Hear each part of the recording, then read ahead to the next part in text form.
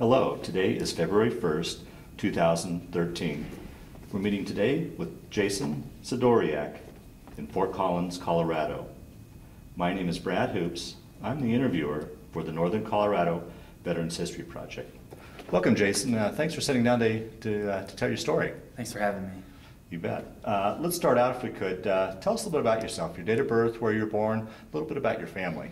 Um, I was born in Rockville, Connecticut, so all the way on the other side of the country, um, uh, November 6, 1987. Um, I was uh, born in um, much lower class family, uh, kind of on the verge of poverty, if not in poverty.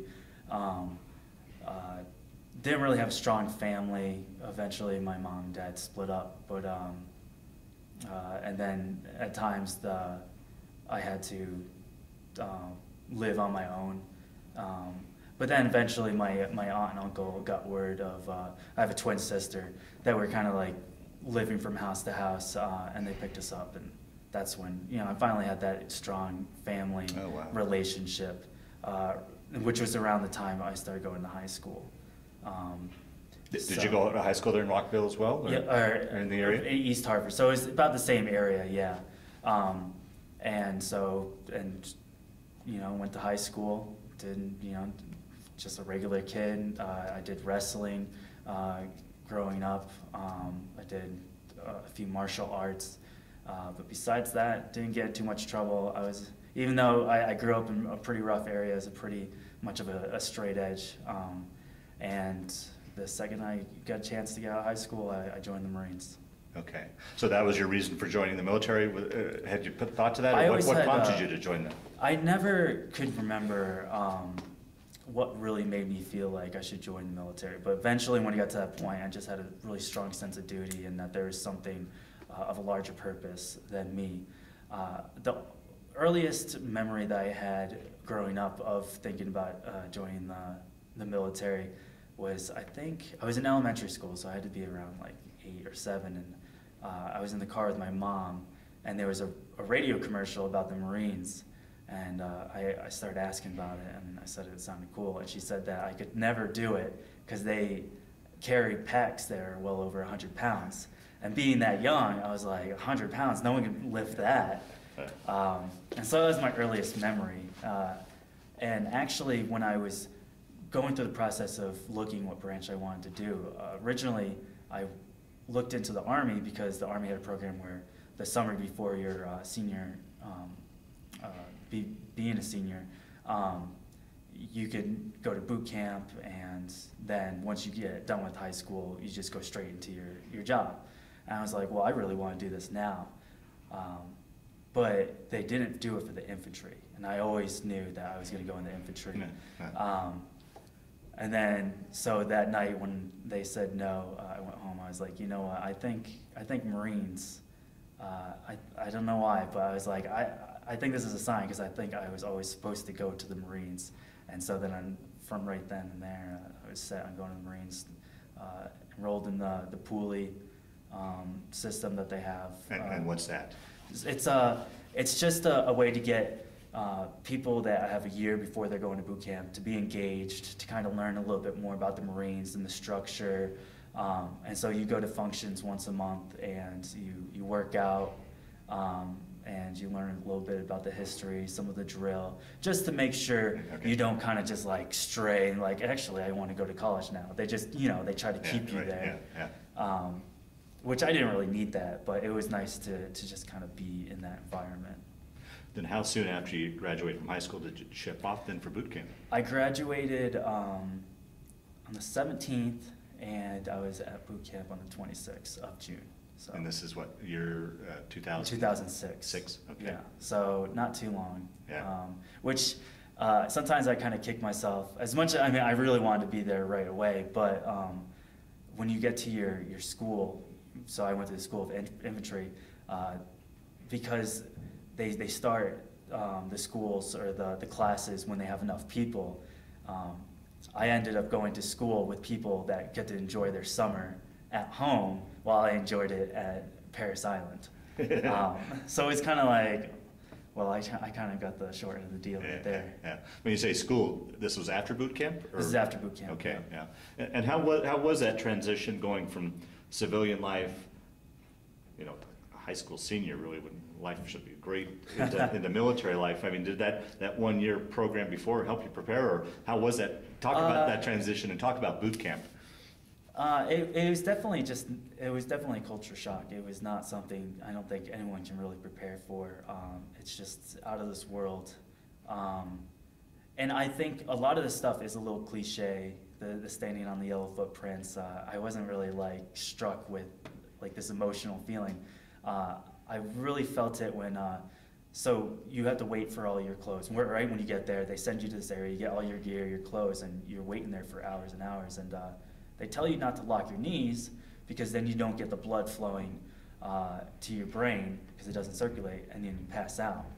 And someone did that, and he just kind of like he fell next to me, and I was like, "Oh no, what's, what happened to him?" And all the drill instructors just like there's four of them. They stood around him and they were yelling at him, not really like picking them up or helping them. And I was like, "Okay, this is something else. This is not going to be a piece of cake." So it's definitely uh, very extreme uh, going into that environment. Uh, but besides that, I, I pretty much kind of stayed below the radar, didn't get in too much trouble, um, so I wasn't being thrashed too hard. Did you realize, I mean, you know, the Marines are notorious for, every Marine I've ever talked to said that they break you down to, a- to a puddle of clay and then rebuild you. Could, could you see that being, that process being done to you? or- Yeah. Yeah. Yeah, I could definitely see it, um, uh, especially near the end. But I've always felt that um, a lot of people like to talk about boot camp, but I really didn't transform until I got into the fleet, which Oh, is, Okay. you know, getting into my job. Uh, even after the School of Infantry, uh, I didn't really see, and I, I feel like this happens to everyone, whether they realize it or not, that you don't really uh, learn who you are until you're actually in your job. Because anyone can try to pretend to be something awesome in boot camp for 13 weeks. Uh, there's a lot of people, the guides or the leaders of the, the platoon, um, everyone thinks they're outstanding. Uh, but then when they get out of boot camp, uh, they're not really in that environment in which they excelled anymore. And that's when the true leaders come out, and the, those quiet guys that you're like, oh, well, you know, he's, he's not going to be anything big. Once they get into their job, you realize these are the people that actually know their stuff, and they're the ones that are willing to step forward. Wow. Okay, so from boot camp, then you went to infantry school? Yep. And, and, and you did that by choice? You hmm requested the infantry school, correct? Yeah. And, Um, and where was that at? That's in uh, uh, North Carolina. Uh, it's uh, right outside actually the base that Oh, I okay. was uh, stationed at. Um, it's uh, New River Air. It's adjacent to New River Air Station. It's Camp Geiger, um, and they have a few other schools around there too. But it's primarily the School of Infantry. Okay. And how long was that schooling? Uh, it's about I think two months. Uh, I graduated boot camp in September, and I finished the School of Infantry at the end of December. So it's about like a month and a half, two months. Okay. And then uh, take your story from there. Where'd you go from, from infantry school? Uh, I was stationed at Camp Lejeune, which is uh, adjacent to um, New River Air Station, um, with the First Battalion, Eighth Marines, um, Charlie Company, and that's who I stayed with primarily my entire time in the Marine Corps. I did uh, go to the weapons company uh, to train and be with snipers for a little bit, but then I returned back with Charlie Company. Okay. Um, and that's where I did my job as infantry. Uh, at first, not a leader, but for the most part, um, the entirety of the time, I was a team leader. Okay. Okay, so you, you're uh, in your unit now, and, and how long were you in, in uh, Lejeune before you guys, uh, before you had your first tour? Uh, I'd say, uh, let's see, December. I'd say like maybe nine months. We trained. We did a workup for uh, until we went to Iraq.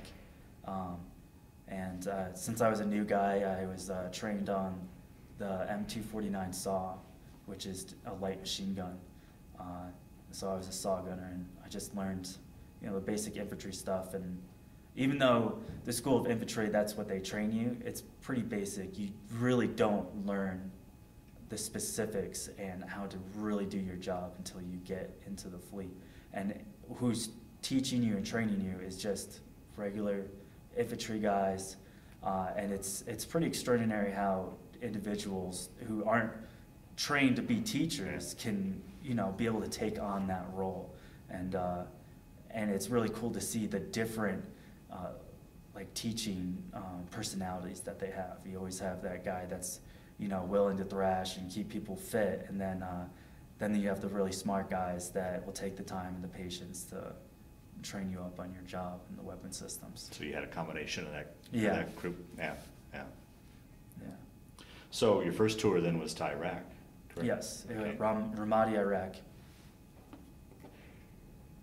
And uh, I was there for seven months. Um, we, our company went to Ramadi and they held a company fob, but our platoon, they trusted us with a great deal of responsibility, and so they sent us to hold a compound by ourselves as a platoon. And uh, it was to hold a bridge and do a entry control point into the city. Um, it was on the Euphrates River, so it was uh, it was probably one of my most favorite deployments, just because I was learning so much and uh, I had so much engagement with the locals. Uh, Yeah, go ahead. Um, and I mean, and one of the great things about the infantry is that you you're given a specific task, but you you have so many different roles. Uh, there was times that I was guarding the perimeter, other times that I was doing patrols, um, doing the actual checkpoint, uh, training army or uh, police Iraqi forces, um, and then supervising them. So it, it's just what I really like about it is just having that broad spectrum Yeah, of responsibility. Right. How was it, uh, uh, particularly taking like the flight over to Iraq when, I don't know, you're sitting in a, I don't know, C-130 or whatever you're flying over in, or, uh, and you've got all these hours to think, and, and you know you're, you're flying into harm's way. I mean, do you remember that flight over and what you were thinking is, uh, Um, at all?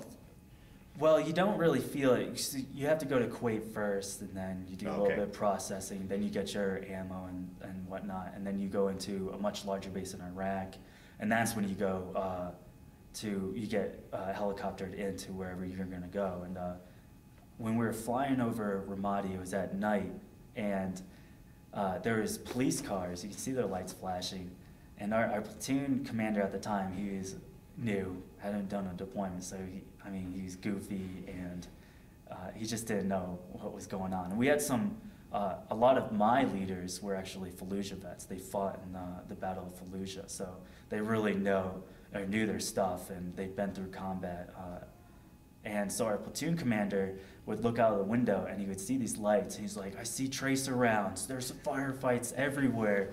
Uh, and he was making a huge deal out of it. And you could see all the Fallujah vets just like looking at each other like, oh boy, this is going to be a long one. Um, and it was just funny that he just didn't have a clue at that time. Uh, and we joked because when we were doing a training op once, uh, he was really he's a really motivated guy. And uh, at one time he heard uh, pop shots of our, our, our training insurgents, um, and we were on a truck. And he just kind of like, he just like ran off the truck by himself, which I mean, platoon commanders shouldn't do. Uh, and it was just really goofy. And they were joking about how on the helicopter he would just run off the helicopter and try to get into the fight. Um, so it was a little nerve wracking, but I mean, it's kind of what war really is. It's this uh, irrational Yeah, humor. right. You know, uh, everything's really ironic. Uh, it's supposed to be really scary, but really you you find a dark humor in it. Really? Yeah. Yeah. Wow. Now, with this guy, this commander being, uh, platoon leader being goofy, did, did you have any doubts about him? Did you have respect for him, or what, what were you, I mean, to Um, add that into the mix, uh, a commander you're not, or a leader you're not quite sure about? It, it was tough. Uh, I there was a lot of times where you knew he didn't know, any, know anything, but he still presented himself as that, which can get a little dangerous because then he's going to just put yourself in a, a situation that he thinks he can uh, handle, but he can't. But um, we got him on my second deployment. He ended up being our platoon commander again, which isn't really common.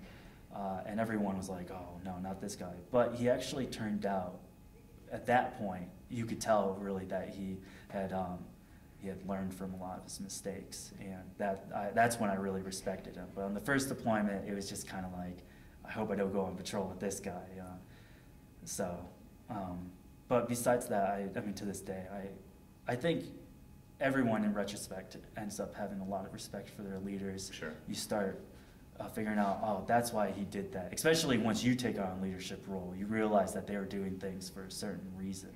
Um, so I don't really have any grudges or Yeah, sure. bad things to say about Yeah, any of my yeah. leaders, to include my uh, platoon commander. What time of year did you guys arrive in? uh, In Ramadi, it was the winter. Um, Oh, really? And it was really cold. And every time I would get a letter from family or friends, they'd be like, How hot is it? I'm like, Well, I know it's a desert, but it's the winter and it's freezing. And actually, the first time in maybe, I think, 50 years, it snowed for a day, uh, which was surprising. Wow. And how were, uh, along those lines, how were, you- how were your living conditions as far as uh, where you slept, uh, the food? um, Were you properly clothed? I'm assuming yes, but. Yeah. Um, well, so the the compound that our platoon was in charge of was actually a um, like a transformer electrical facility that actually took care of the electricity for not only Ramadi but Fallujah and a few other main cities around. Um, so we, at first, we lived on cots. Um, in between these huge transformer machines, and every time something would go wrong in, like, let's say Fallujah, the lights would go out, a huge buzzer would ring off, no matter what time of the night. So you'd get back from patrol and have like four hours of sleep, and finally get to bed, and like an hour in, this huge buzzer would run off, and uh, we actually had uh, Iraqi workers, the people that actually worked there, uh, they were allowed to stay with us and work on this facility because they're the only people that could, and. Um, you'd always see like two little Iraqis just as, as soon as the buzzer went off, they'd zip out of their rooms and like start pushing buttons and turning knobs. Uh, and would, we would joke, it always seemed that they would turn the same knob always, no matter what city was having a problem. So we'd always run over the knob and pretend we were about to turn it for them. They'd be like, no, no, no, please don't. um, so it wasn't comfortable, but I think it was unique. It wasn't what a lot of the other people in our company, at least, were uh, living in. Um, they got to have like bunk beds. So eventually, uh, we would kind of form the compound to ours, and we would clean out rooms that were just uh, storing stuff, and we would eventually throw bunk beds in there. So uh, it got comfortable a little bit by the end.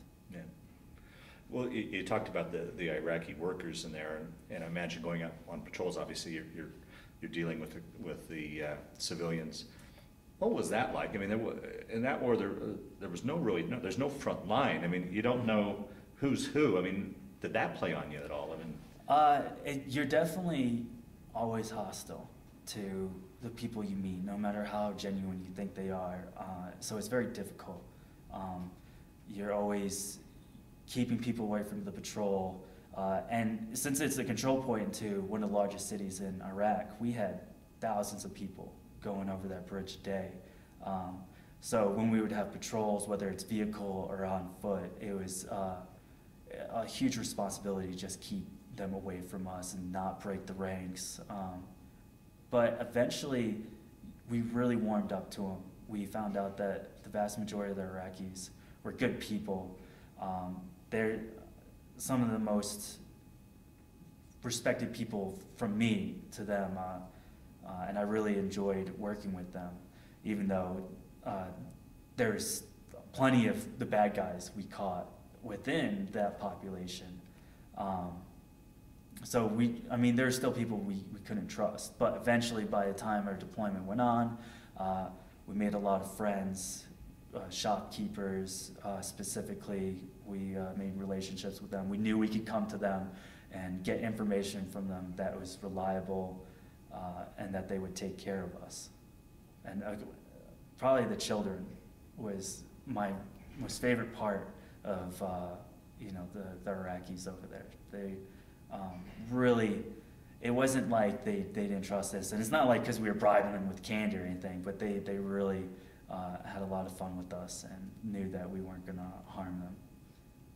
Did, did you get to the point uh, over time where you could kind of tell the good from the bad? Or I mean, uh, uh, Yeah, you can tell who didn't belong there. You can tell whether the way the civilians were, were reacting to them, uh, or the way that they were kind of looking at us. Uh, and we always, as soon as we noticed that, we just went straight to them. Uh, and I think that's probably the best tactic is just, just you know, blindside them. They don't have really, like, they can't react in time, and we either would snatch them up or just question them. And for them to see us as aggressive as that, uh, I, I feel like really saved us because they knew that we weren't a force to reckon with. We weren't gonna let our guard down. Wow.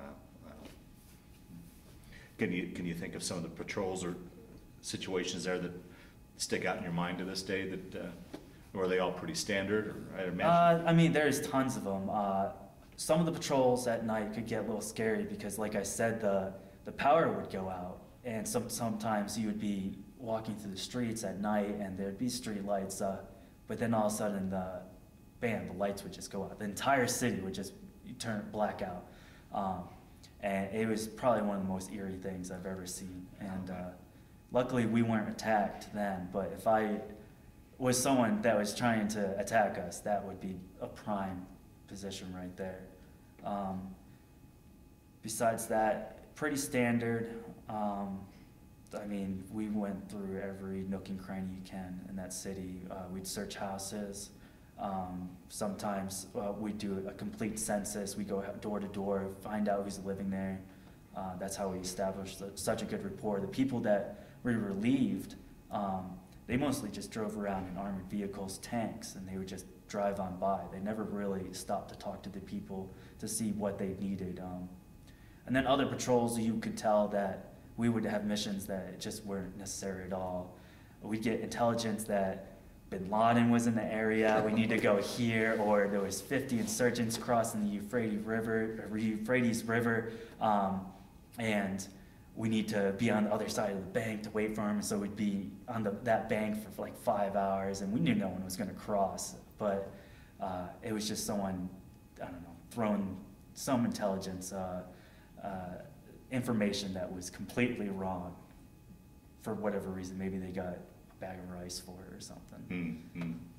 Now, you said you, you were more in contact with the locals than, than the, the guys that you relieved. Was that a decision made there on the local level, or was it, did that come down from the higher end, or who, who decided, let's, let's get more involved with these people? I believe it was battalion level. Um, and you, when you get, we get debriefed by the unit before us, and we were hearing that what they were doing, uh, and we were like, that's that's not how you do it. That's not how you're going to win the fight. And this was during the time when we were really gearing our strategy as a whole, whether it was in, uh, well, actually in Iraq, not in Afghanistan. Afghanistan was soon after, but for the COIN operations, uh, really getting down and, and talking to the people and, and helping them establish their own security force. So that was probably the beginning of when those operations started. So it was probably battalion level and also higher up than that. Okay, okay. And then how long were you there on your first tour? Were- Were all the tours the same? Uh, they're roughly seven months, except for That's right. my last one. Okay. And that's, a- is that a normal tour length? I know they. For the, the Marine Corps, the Yeah, Marines, okay. uh, they try to do, um, seven on and then, uh, the seven off, uh, for their training. Uh, the Army depends on how the unit does it, but they're usually there for like a year. Yeah, okay. yeah. And what would you guys do when you were back at the base and, and off duty? I mean, what would you do to, to kill time? And Uh, a lot of spades, played card games, uh, but really, so our compound, I mean, we, we had those uh, uh, Iraqi gentlemen that worked in the facility. Uh, some of us hung out with them. Uh, we also had, though, we had the Army, Iraqi Army unit stationed with us. Wow. Uh, and then eventually they switched out with the Iraqi police. And we spent an awful amount of time hanging out with them, really. Oh, And really? that's Yeah. what helped us refine our, our language skills, uh, learn more about the culture. Uh, who's good, who's bad, um, and I mean, it differed from whether we were talking to the army or the police, because the police were people who they were locally employed. Uh, the army came out of Baghdad, um, so you really got two different uh, feelings for how we should conduct ourselves in the population. Uh, but we would play soccer with them, we'd play football with them. Uh, there was a, uh, we had a, like a weight room. Sometimes they would come and try to lift weights, and it was just pretty funny because usually it's the bar and they can't even lift that. Um, so I mean, that's basically what we did was just sleep, hang out with them, and uh, play cards. Could, you- could you let your guard down with those guys? I mean, was it, was it still kind of We, a? it was still a little iffy, especially, uh, I mean, that's when, uh, at least in Iraq, the, the blue on blue, the, some people would, uh, get into the Iraqi army with the, or the police with the sole mission to turn on Right, us. right.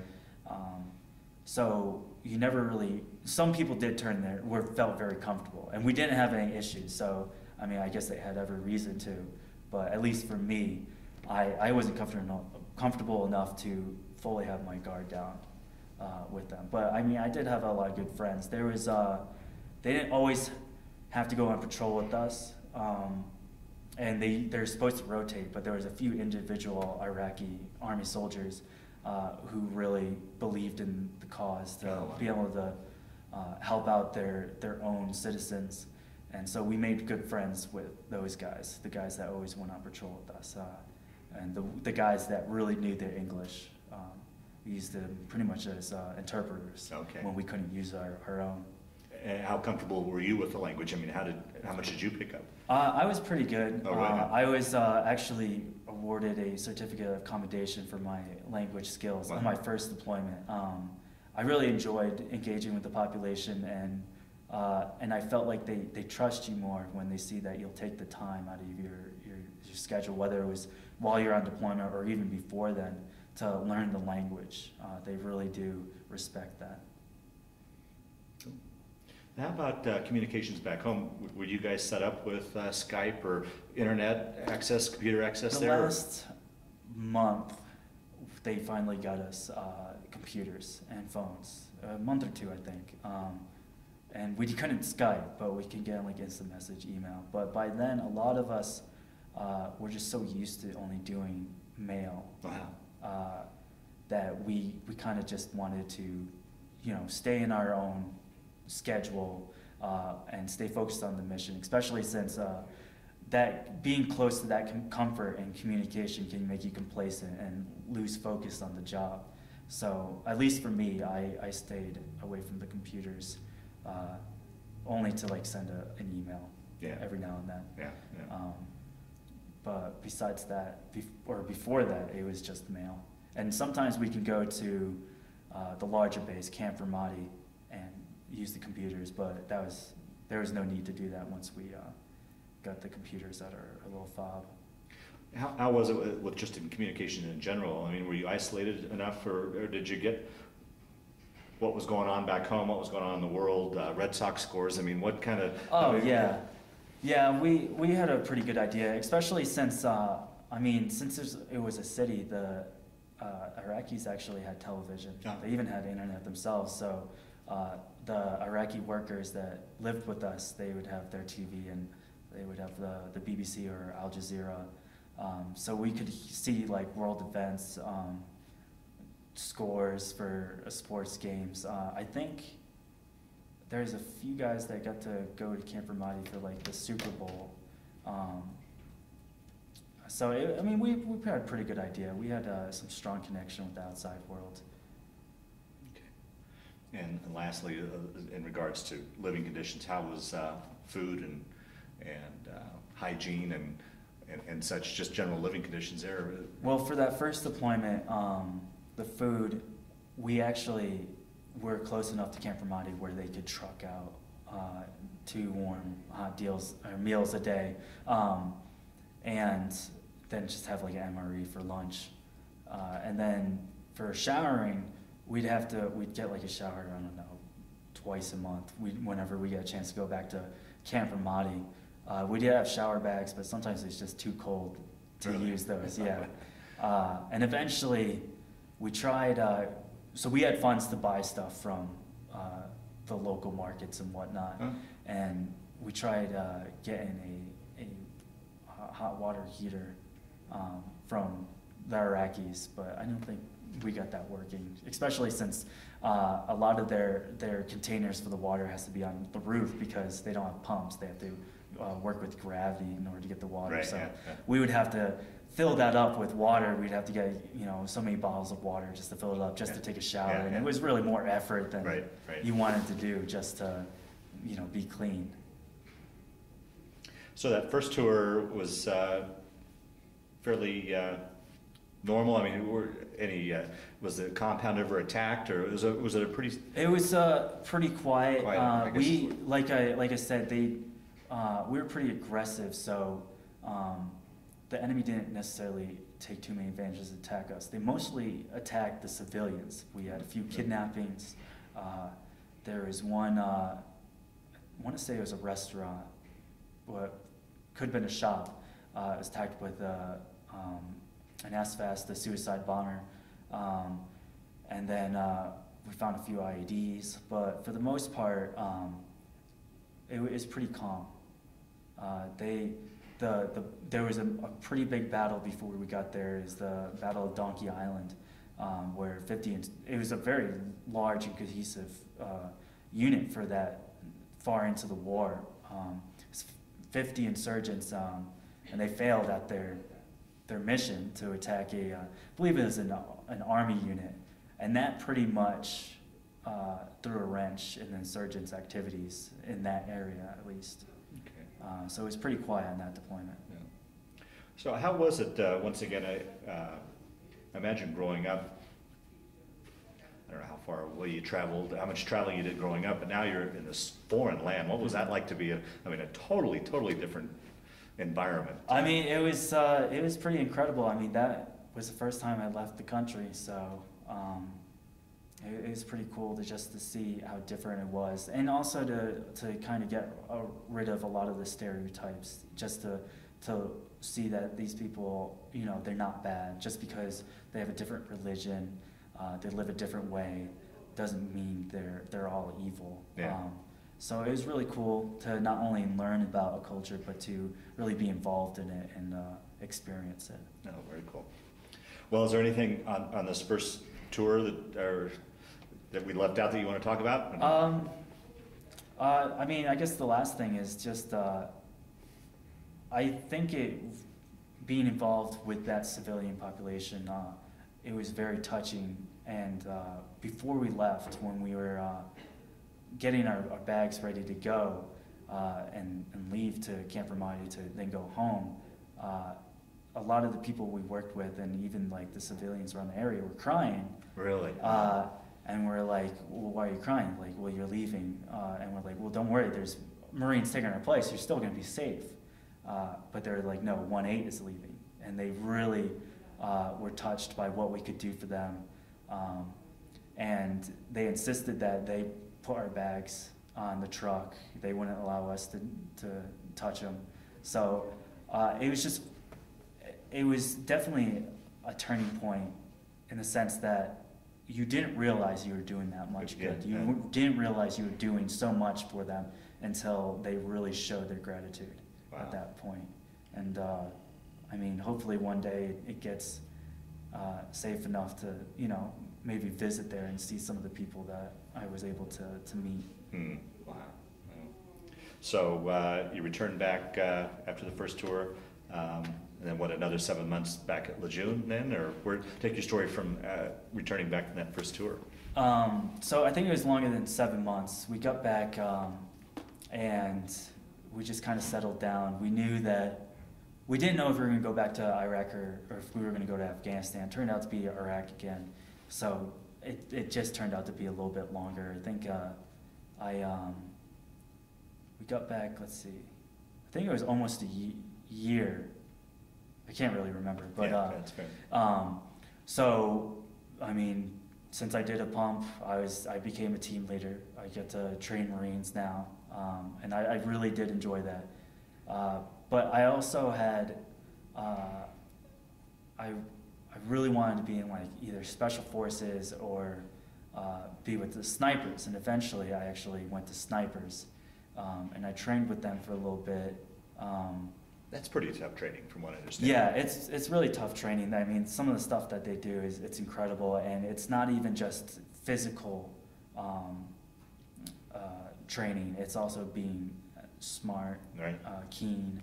Uh, a lot of the things that they do involve uh, pretty, pretty um, uh, like difficult equations, and a lot of this has to be done and thought of within like a matter of seconds. Um, and so I trained with them for a little bit, and eventually I realized that what I wanted to do was be a, a infantry team leader, because uh, I would have been a team leader at that point if I finished my uh, sniper school and deployed with them. Uh, and it would be, I think it would have been, you know, an interesting experience to do that, but I realized that I, I like to teach a lot more, I like to lead. Um, and so I asked to go back to my parent unit, uh, 1-8 Charlie Company, and then I became a team leader and, trained Marines to go to Iraq. Some, some of your old guys you served with, or was it? have It was the same guys, same platoon. I was fortunate enough that they allowed me to go back to my platoon. Some of the times when that happens, they uh, send you to a different company. Whoever needs the Yeah. uh, the people will get uh, the extra people.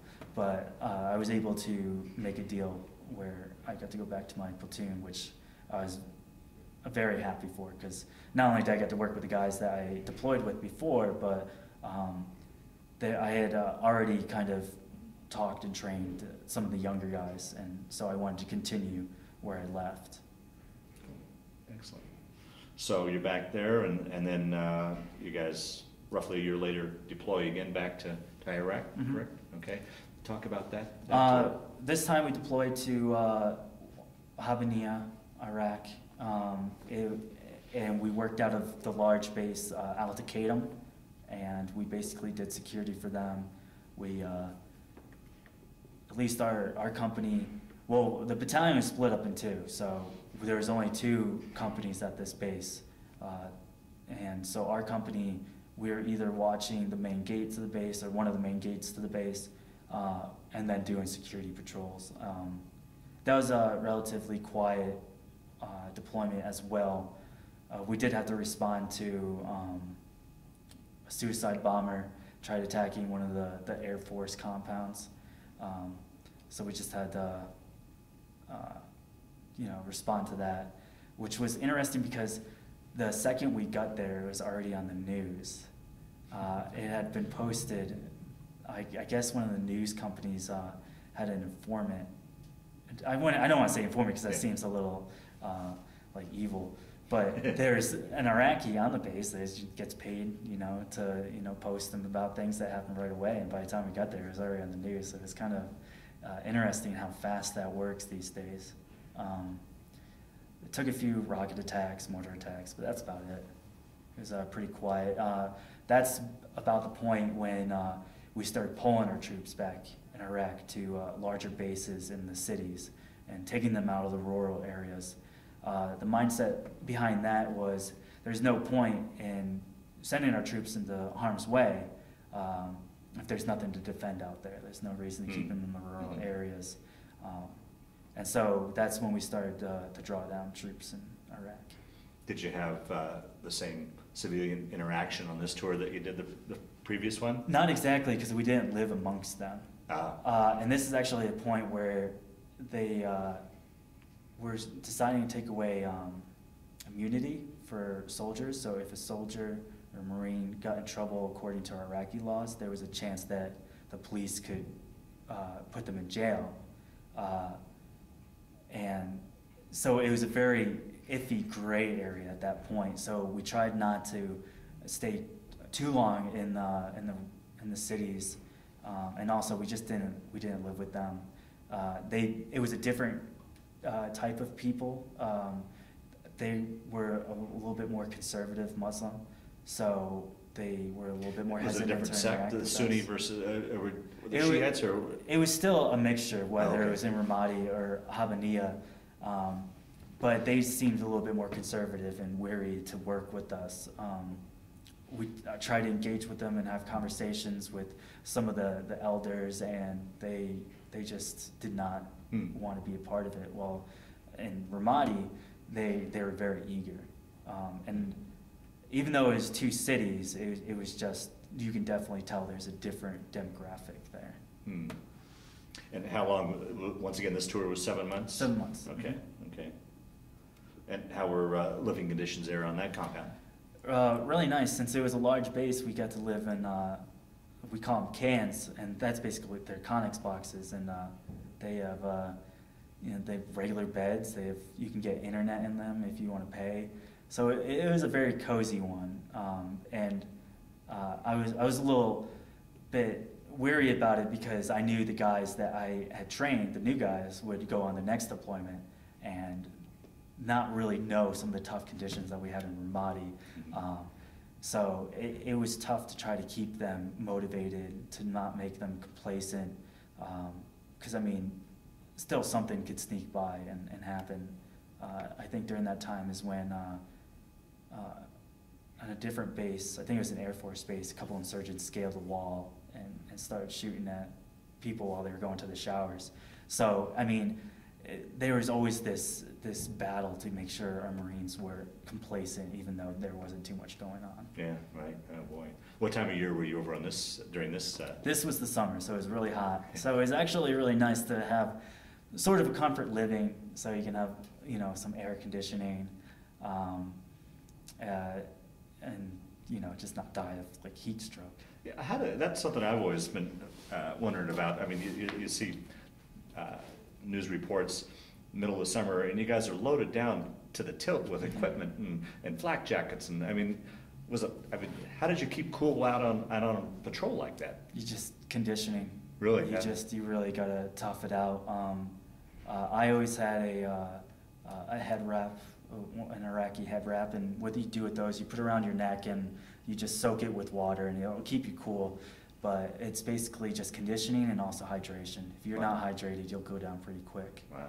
Um, and I know a lot of stories of uh, during firefights, people had to get medevaced, not because they were shot or, or anything, but because they were going through heat stroke, because they would be in a battle for so long and they wouldn't have any water. So heat is definitely one of the worst enemies that you can have.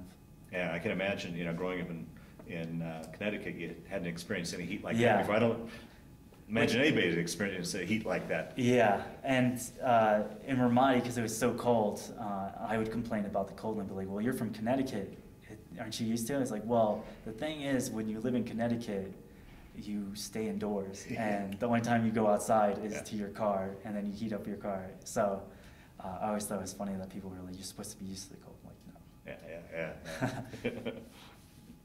well, it, uh, we kind of quickly went over the second uh, Yeah. tour. Is there anything else in the, that you can It think of? was, yeah. The, I mean, the second tour, it was uh, it breezed by, by very quickly, um, uh, and it wasn't too difficult. I, actually I had gotten married to my wife before that deployment. Oh, wow. We'll have to go back Um, and, we'll have to talk about that then. Yeah.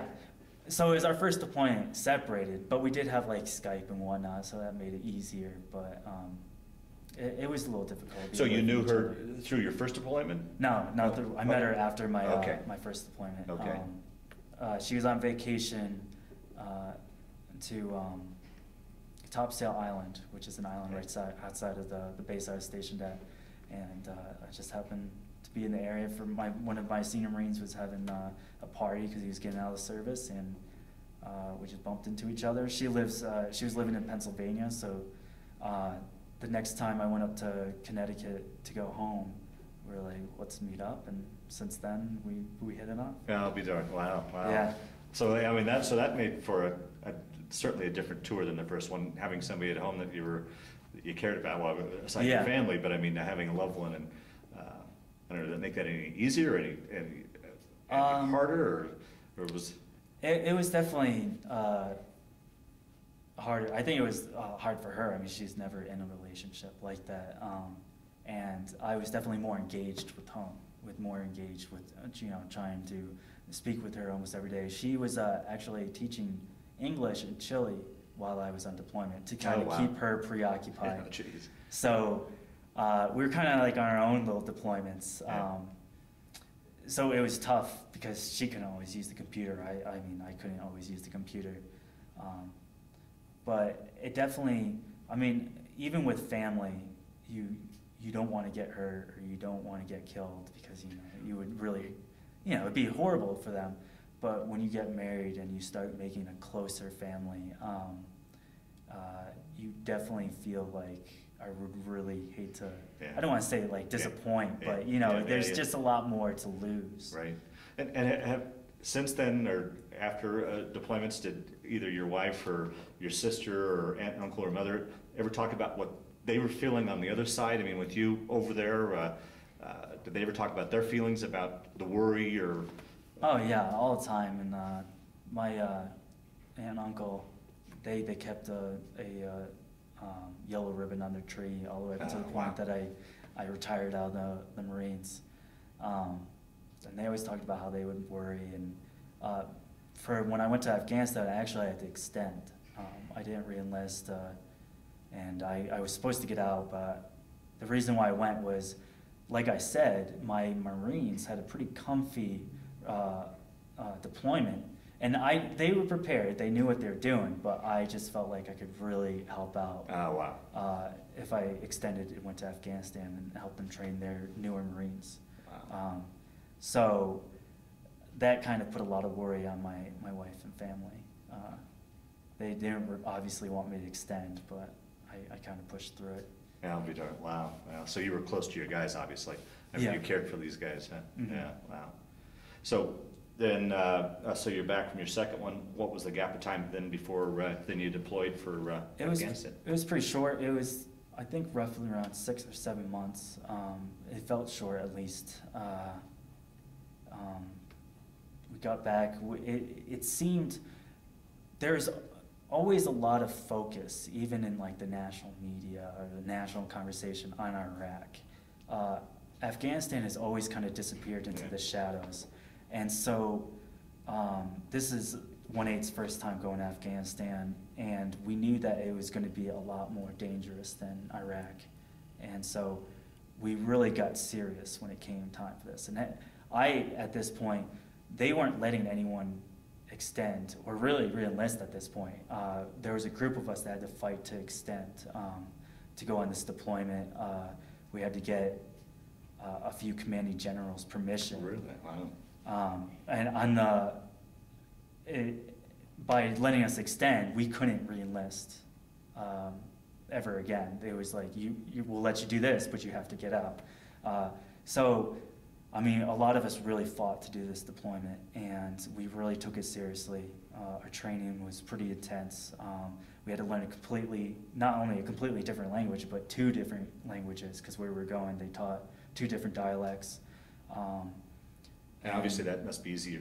Languages are easier for you to pick up, it sounds like, or? Yeah, yeah. Um, and I, I've forgotten a lot of it now, but if I feel like if I sat down and actually Yeah, yeah. uh, remind myself, I, I- could probably get it down pat. Um, but yeah, so it was definitely a more intensive uh, training regimen. Um, but it, it seemed like we didn't do enough training at that point. We need. I always felt like we had to keep doing more. I always had uh, on our downtime. Uh, when we're, when we weren't doing training ops, I would pull the guys out and go to uh, the quad, uh, this big grassy area, and I would have them doing infantry uh, strategies and uh, maneuvering. We'd always be clearing rooms out. Whatever time we had, we were always trying to train. Wow, wow. Now, you'd mentioned that it was, uh, you, you had to fight to get that extension, but you couldn't uh, reenlist. Had you ever thought at any point of making it a career, or were, were your plans just to do a, an enlistment, get out, and move on with life? Uh, Um, before I joined, I was like, I'm gonna do eight years. Um, and I'm not really sure where I got that from because I had no, no, no idea what the military was like. Uh, but when you get in, especially with the, the infantry, uh, it can get a little discouraging because you you get the bureaucratics and you just you, you don't really, you love your job, but when it comes to the administrative pro- portion, you, you get, um, you know, just thrown around, you, you get the short end of the deal. Um, and so a lot of people, a lot of good guys end up getting out because they're like, this is just not fair, whether it's with promotions or just being told to do things that they really aren't necessary. Um, uh, so I got to a point where it's like, uh, I, I could see myself getting out, but then we, we got wind that we were going to Afghanistan. I was like, well, I, I, I think I should do this one. Uh, So your initial enlistment was four years, or? Four years. Okay. Mhm. And any reserve uh, requirements after that, or just a? Uh, they always say that you have to do um, four years inactive reserve after that. Because I did the that pool function, um, that took a year off of that. Oh, okay. So it was only three. Um, but then I did the extension, which knocked out, well, would have knocked out two, but it turned out to be two, uh, or one year, but then turned out to be two more. So my inactive reserve came to be one year. Okay. And, and when you, when you got that extension, uh, obviously, I'm sure your wife didn't want you to do it. Yeah. Were- Was she able to understand why you felt you needed to do that? I mean, did you ever, obviously, get was- turned around on it, or? uh, I was pretty stubborn on it. Uh, she always didn't want me to go, and probably to this day is like, uh, yeah, I don't really get why he did that. it was a little selfish of me to do. Um, it, it was selfish of me to do something that was selfless, as I mean, for my guys. Uh, and it's weird. You always have to try to find a balance when you're you're married in the Sure, military. yeah. Uh, a lot of guys have to go through that, and it, there's never a point where you can be like, well, this is more important Yeah. than my relationship with my wife. Right. It just has to come down to this is what I'm doing. Uh, and thankfully, I mean, I'm back here to enjoy my Yeah, relationship with my wife. yeah, right, sure. Um, and it's, it's just one of those speed bumps that I, all marriages go through. Mine's just a little bit more unique Yeah. than uh, some others. Yeah, right, right. So uh, let's let's talk about this third this third tour then. So you're off to Afghanistan. How was uh, was it the same sort of uh, setup where you stopped in Kuwait and and uh, got acclimated, or talk, take your take your uh, Uh, trip? We stopped in Kazakhstan, I think it's pronounced, uh, and we stayed there for it feels like weeks, but it's really just a few days because Hmm. you really, especially for Afghanistan. I mean, everyone at that point wanted to go to Afghanistan. That's where the fight was. Uh, it's like the wild, wild west, Yeah. and uh, so you're just you're sitting there waiting for a flight, and all the flights are, are taken. Um, and and it, what's more it's more unique than the Kuwait uh, base because uh, this base was housing all the NATO troops. So you would see Oh, people wow. from different countries sharing the same rooms, and it's just really cool to see like such a, a, a you know unique group of people uh, all going for the same purpose. Um, and then uh, eventually we got a flight and we flew into uh, Camp Leatherneck, which is in Helmand Province. Uh, we stayed there for a little bit. Um, we got our ammo there, uh, getting acclimated, um, and we basically just sat around waiting for another flight, which those uh, are more few and far in between because their resources are going out to, you know, for combat, uh, medevacs, um, you know, just getting supplies out there. So we had to wait a little bit longer. Um, and you could really feel the sense of uh, danger um, behind where the hut that we were staying at. Um, they shot rockets, they're called HIMARS. Um, and a unit that would be adjacent to us, 3-5, they're, they're down in Sangin, uh, having a lot of difficulty, and they would shoot off 13 rockets at a time uh, and, a, and a firefight because they were having uh, such difficulty down there with the insurgency. Wow. So you could really get that, that sense of uh, the danger that we, we were about to face. And how did you feel about that? Or was it anxiety, anxious to get into the fight, or I, I, I, I'm asking this question from a from, from a perspective of someone that's never anywhere been near anywhere a battle condition. So I don't know what I'm just trying to understand what a what goes through a person's mind in, in a situation. We were pretty anxious. Uh, we really wanted to get in the fight, especially knowing that there was Marines out there that needed help. Um, uh, there's always uh, a casualty every day. Um, when there's a casualty within the area, it's called um, River City, and all communication is uh, shut down between us and home. So the computers are locked out, the phones are locked out, and so not only are you sitting around doing nothing, you can't even go to the, the phone center and, and talk to your family. Yeah. Uh, but you knew that you know there's something going on out there, and you wanted to be a part of it. So um, you were doing nothing, not talking to your family, and then doing nothing and not helping out. Yeah, right, right, right. So then, uh, you went from camp, and then you guys went out to a fire base, or where did you go from where you guys initially came in at? Um, we helicoptered into uh, uh, a base called Cafaretta, um, is in uh, a city called Nauzat in northern Helmand province, um, and that's where my company was going to stay. And once again, they uh, they had our platoon, and I've been in the same platoon this whole time. They've always uh, held a lot of respect for our platoon. Our platoon, uh, I wasn't with them, but when they we uh, when there was war going on in Lebanon, uh, in uh, I believe 2006 or 2007, um, they called on Second Platoon to get all our evacuees, um, American evacuees, uh, out of Lebanon. Oh, wow. Um, so th- we've always had a lot of responsibility as a platoon. So they sent our platoon um, to uh, a, a small little uh, forward operating base, a patrol base, uh, in a in a town called Dahana, and then they sent another platoon uh, up uh, to the north of Cafaretta. So there was two platoons outside of Cafaretta, and the rest of the company was in Cafaretta. And, and what was the compound like there? Uh, it was a pretty fortified compound. In Afghanistan, the walls are probably 18 inches thick of mud, and they can take a hit. Um, uh, and it was a police station. We had the, the police staying there and uh, the army. So we had one, one corner had the, the police there, and the other corner had the army there. And then in the middle was our, our platoon's uh, area. And uh, we were actually renting it from someone who owned the property, which I, I thought was a little ironic in war that we were renting a property. Yeah, yeah. So I mean, it, it was uh, I mean, it was basically a mud house that we'd stayed in and with huge walls around it. Wow.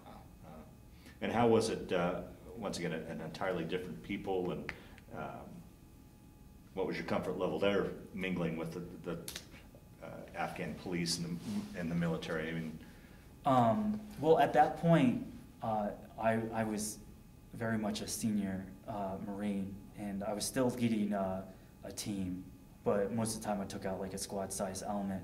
Uh, so I was very, um, very serious about what I was doing, and I actually I didn't interact with the population that much because I didn't trust them at all. In fact, the first day we got there, um, we were talking with the, the guys that we were um, relieving, and um, we took a rocket, and um, and I was like, okay, this is this is it. This is how, they're introducing themselves. This is, I mean, this is Yeah. basically what our deployment is. Um, and they're and they told me, hey, get a few guys out. We're going out there to get them. Uh, um, uh, so we ran to the roof and uh, we had one guy, we were leaving one too. He was running to get the machine gun ready. Um, and then one of our guys was going and they shot another rocket and went right in between them. Uh, and so we had like two huge holes in our wall, but uh, it was definitely one hell of a way to, to start the deployment. Um, and uh, so from there on, I, I didn't really trust the population. They didn't want to interact with them. I knew that a lot of them were just going to lie to me. Uh, a lot of them I was probably going to fight. So it was definitely a complete 180 from how I was with the, the Iraqis in Ramadi. I've got to imagine too, it was a complete 180, or an additional, this tour was quite a bit different than the other two in, in the respect that, I mean, you're still under the stress of war, but now you've got the additional stress that, you got responsibility for some men. I Mhm. mean, I mean, that- I can't imagine what the, the stress level that must have been, knowing that, you know, you had to take care of your men, and, Yeah. you know, a wrong decision could get somebody hurt or Yeah. killed. I mean, that, uh, that's incredible stress for, quite frankly, a young kid, I mean, for anybody, but, uh, Mhm. yeah. Yeah, and uh, I led a, uh, for the most part, a designated marksman team. I had a, uh, uh, a sniper rifle, a Mark 12, and so a lot of times I was doing uh, Overwatch for guys that uh, I would be up in the mountains and we'd have guys patrol. Uh, and one of our tactics was um, get him, get the enemy out. I mean, this is, I mean, totally different mission. As much as we wanted to engage with the population uh, and, and help them out with some of the problems that they had, uh, the towns that we were taking care of, they were pretty far apart. So it's really hard to keep the Taliban out. We'd leave, they come back in. Um, and so a lot of what we did was just straight combat. That was our mission, was to find the enemy, seek him out, and take care of him. Um, so eventually, and the way that we had it was, uh, we'd have our base, and there'd be a, a, large wadi or dry riverbed, and then there'd be this huge valley, uh, and then it would end at another dry riverbed, and on the other side of that was a known enemy town. I mean, we knew the enemy was there, um, and it was almost like a football field. We would come out onto the field, and then they would come out onto the field. And uh, we eventually knew that they would do that, so what we'd do, we'd kind of have bait. We'd send a patrol out there, and they'd just walk around, and we'd see them set up on the sides of compounds, and uh, my team would take them out. Wow, wow, wow. What time of year were you over in Afghan? The winter, so it it was cold. extremely cold. Yeah. Yeah. Yeah. Uh, although, so we got there in the fall and then left in the beginning of spring. And it was pretty hot during those periods, um, but it was very cold and wet uh, during that time in the, the middle. And it sounded like uh, living conditions there were pretty primitive in comparison to your other two uh, deployments. Yeah, um, we did have cots, but uh, it was much dirtier. Uh, I mean, the complete, the whole entire place was made of mud or some sort of cement. Um, what I lived next to was a, a, a window that used to be a window. Was a huge gaping hole, uh, so I had to board it up myself. Um, but we definitely made it home. We, we made like little shelves and, and doors and uh, I mean, we, we did a pretty good job building that, that place up. Well, during, during that time, would you ever get pulled back for, you know, I guess a rough R and R back to a larger camp? I mean, did you get breaks in that, or were you out in the Um, field the whole time? We'd get a chance to uh, go back to Cafaretta. Um, we wrote our, our uh, squads would rotate. Uh, so I'd say twice a month I would be able to get to Cafaretta and get a shower, um, you know, send a quick email, maybe uh, get some laundry done, uh, grab the mail, and then we'd go back. Uh, and that's about it. Uh, it was definitely probably the most uh, um, like worst conditions of all the deployments. Um, which I mean, I was fine with. I mean, that's that's what I live for, Yeah. right there. Yeah. yeah. And you made it back uh, with uh, all you guys? uh, a- I was the only casualty. Oh. Um, I was uh, by the fifth month. I was struck by my vehicle was struck by a, uh, a roadside bomb. Oh, Um, jeez. We had uh, we had a few operations um, to uh, take a few towns, but they because of intelligence got leaked, we had to cank them. And one of the towns that we were going to take, uh, it was completely vacant. No one's living there. The Taliban had you know gotten them all out, uh, and we were going to take that the, the day prior. And word got out that this operation was going to happen, so they had laid all the roads with IEDs for the most part. Um, and so it got canceled, but they're like, we want to do a patrol. Um, we want you to escort uh, an intelligence team uh, and then a team that also trained the Afghani police uh, to the town adjacent to it. Um, so we did that, but then we came back through this other town we were supposed to go and take the day prior. Um, we started taking uh, mortar fire in our uh, convoy, and we, then we ended up, or before that, we got intel. Hey, the- there's an ambush waiting for you. We uh, we received their radio transmissions. We have a rough idea where they are. Um, so we're like, okay, if they want to go, we can go. So we're going straight to the ambush. Um, but unfortunately, we got stuck in a choke point. And the way the IED was set up was uh, it was designed as a like a very hard bowl. So the first vehicle can drive over it, break it, and then second vehicle would set it off. And I was in the second vehicle, and um, the blast it shattered bones in my feet. Um, and so now I have a metal plate in my heel, and I, I can't run anymore because uh, the Wow. joints kind of fused. Yeah. Oh, wow. Um, so I was the only casualty of that deployment. And were you medevaced out? I mean, did that end your deployment, or were you patched up? ended and put- it. Uh, I, I was medevaced that night, um, and I ended up, uh, at, um, Bastion, the hospital there, and, uh, then I was sent to Germany for a day or two, and then they sent me back to the States. Oh, wow, oh, jeez. That, that, uh, phone call or message into your wife, um, must have been, how did that, how did she hear about it? Well, so the commanding officer is supposed to make that phone call, and he told me he would, and I don't know what happened to this day, but he didn't make the call. So when I ended up, uh, when I made it to Bastion, uh, the next day they gave me a satellite phone. It's like you can, you know, call your loved ones. And so I assumed, sure, he knew. And I called her, uh, it was nighttime there, and she was uh, actually out having fun with friends, uh, enjoying herself. And I, when she answered the phone, I was like, "Hey, how's it going?" And she seemed like, you know, having the most fun in the world. She was excited to get a call Yeah, from me. yeah, yeah. And I was like, "Oh, she doesn't know." Ah, And so it was very difficult to, you know, to tell her that, you know, I got hurt. How long were you, uh, uh, in the hospital, or how long did it take to, to Um, recover? I was uh, at Bethesda, Maryland, the, the main hospital there for, I want to say, uh, al- almost a month. And I had to be in a wheelchair. Um, and eventually I got moved to crutches, but they allowed me to go home in a wheelchair uh, um, for a, a little bit and then fly back to Bethesda for my main uh, appointments.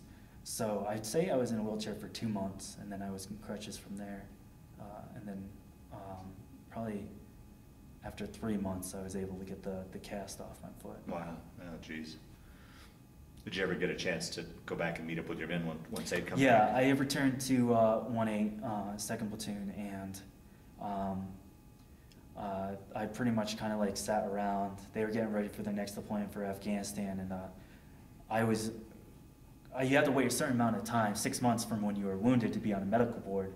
Um, and then a medical board to be medically retired takes a really long time. I know some guys that have been on for two years, so they kind of sit around doing nothing for two years because they're not fit to do their job. Um, Which you wouldn't have been, I would imagine. Not for infantry. Yeah. Mhm. Uh, so I helped train, you know, just give classes to some of the guys. Um, but eventually I got moved. They asked me to uh, help run their casualty uh, center because they're going back to Afghanistan. And so there needs to be guys here to help track our guys who get wounded, like they did for me, and then also uh, help track those who get killed and um, uh, be able to, and depending on how far we have to go, uh, we would give the bad news to those families Oh, and boy. attend their funerals. Um, and so I did that for a little bit until I was medically uh, retired. And that was this, this last April, you said? when- Yeah, I was able to leave uh, in April. Yeah. How was, uh, how was that transition after all you, you know, your, uh, your career and after everything you've been through? How was that, I guess the opposite of the question I asked you in the beginning, going from a military life back now to civilian life? I mean, it was difficult, uh, especially because uh, it wasn't just, you know, because I came from the military. I mean, I, I deal with uh, PTSD and uh, my injuries, and um, so, and I didn't go straight. I, I started school in the fall, so I was able to have the summer to kind of just, you know, relax, um, get a feel for Fort Collins. Uh, I mean, I, I joined the military from Connecticut. Came out here because my wife is doing grad school at CSU. Okay. So I really didn't know anything about this town. I mean, Yeah. it's, it's such a, a beautiful town. So I was able to, you know, at least go camping uh, and, and go to a few concerts. Um, but uh, it, it was difficult. I, a lot of things that I'd like to do involve, you know, being able to run or, or something like that. Um, and so it, it, it was tough Yeah. transitioning. Yeah. And, uh, and so I've been, since then, I've been trying to get involved with a lot of organizations that deal with veterans issues to try to um, just keep my mind Yeah. off of all that stuff. are you getting uh, treatment for your PTSD? Yep. Yeah. Uh, I go to the vet center. It's a it's a great place. Okay, Uh, so you're you're well taken care of in that Mhm. regard? Okay, yeah, good. good. We'll talk a little bit about um, your future now, or uh, your present and uh, your future plans. I know it's just a short gap, but uh, not a whole lot to fill in between now and since then, but what are your, what are your, what are your future plans? Um, well, I, I want to finish school. I'm getting a degree in uh, political science. I, I'd really like to uh, be involved with government policy. Um, and uh, here on campus at Front Range, I'm the president of the Student Veterans Group. Um, and I'm also the social media chair for Veterans Passport to Hope, which is a uh, nonprofit organization that helps uh, create awareness of veterans issues and then also consolidate other organizations so we don't have veterans getting lost in the sauce, uh, if you will. Yeah. Uh, trying to figure out how, what support they can get or if it's out there. Um, and so I plan to continue doing that and then uh, hopefully get in a position in government. Oh, excellent.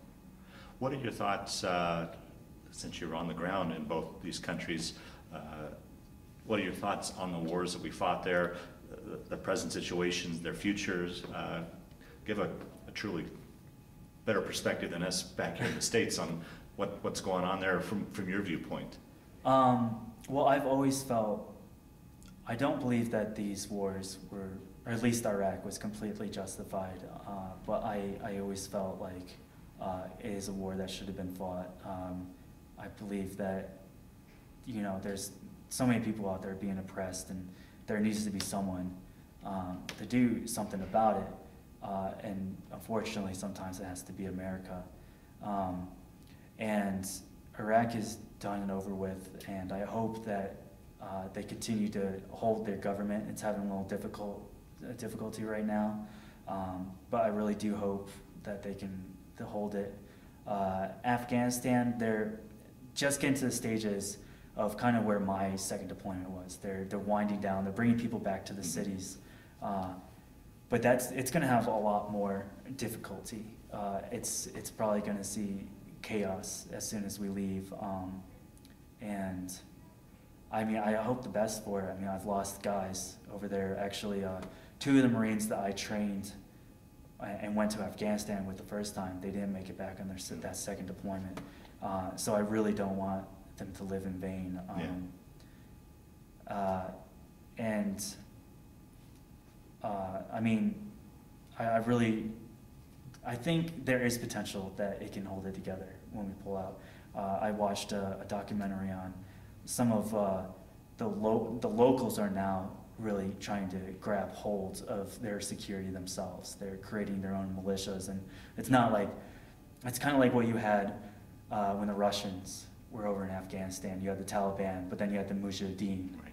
Um, and now you're starting to see that. Uh, and it's not as established as the Mujahideen uh, were, but it is definitely a fighting chance uh, for those people.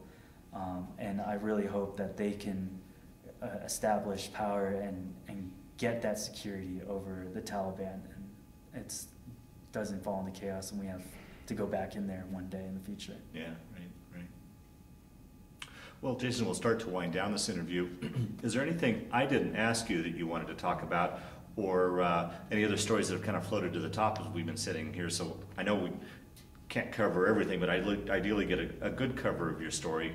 Uh, anything you can think of that you, or any closing statements, anything you wanted to, to, to, to finish off this? Uh, Uh, none that I think can think of. Uh, I, I can definitely say that even though I was I've been wounded and in some part disabled, I don't regret any of my service, um, and I still have that really strong sense of duty, and that there are uh, a, a stronger purpose out there, um, and that's why I want to get into you know public service. Um, I might not be you know wielding a, a gun and, and leading Marines anymore, but uh, I still feel like I can do a lot of good. And I think uh, creating awareness so that we can help our veterans, and um, but also get our the civilian population, the you know the regular uh, residents, uh, to learn more about what this generation has just went through.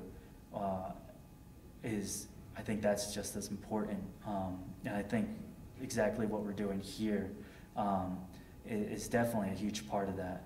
Uh, and I do believe that the, those that just went through these two wars can be and will be the next greatest generation. Uh, the amount of technology and skills that they have to go through, even for an infantry like me, uh, it's just it's it's pretty awesome. And I feel like that we can really uh, take charge and and excel this country, uh, whether it's through business or you know uh, clean energy or anything like that. Uh, I really do feel like we're we're the ones to do it. Oh, excellent, oh, excellent. Well, that, with that statement, we'll, uh, we'll close down the interview. I want to thank you for sitting down to tell your story, but uh, more importantly, I want to thank you for your service to our country. Thank you.